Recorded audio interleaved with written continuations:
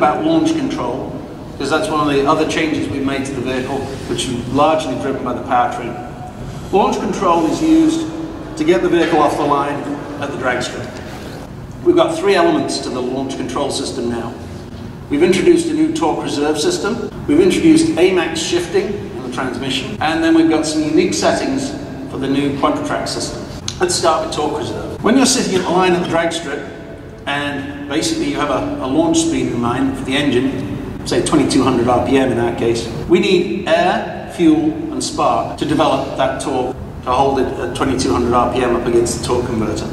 Of those, Spark we can influence in 50 milliseconds. Fueling I can influence in 150 milliseconds. But air takes time to build momentum through the system. So there's a called a manifold filling delay of about 300 350 milliseconds typically when you crack the throttle. In torque reserve, what we do is we cut the fueling to individual cylinders and we retard spark to allow us to basically use the speed of the engine and get the air flowing through the supercharger. We can therefore develop 6.4 psi boost standing on the line. When you let your foot off the brake, that develops additional torque instantaneously for launch and results in the 11.6 quarter mile times and the 1.4 G of launch G. We couple that with our AMAX shifting. In launch control, we slow down our shifts. That may seem strange, but there's a reason for it. Typically, in a transmission, when we're making shifts, we use something called shift torque management. We instantaneously reduce the torque of the engine to allow the clutches to close more quickly. When I'm at the drag strip, I'm not so worried about making the shift quickly.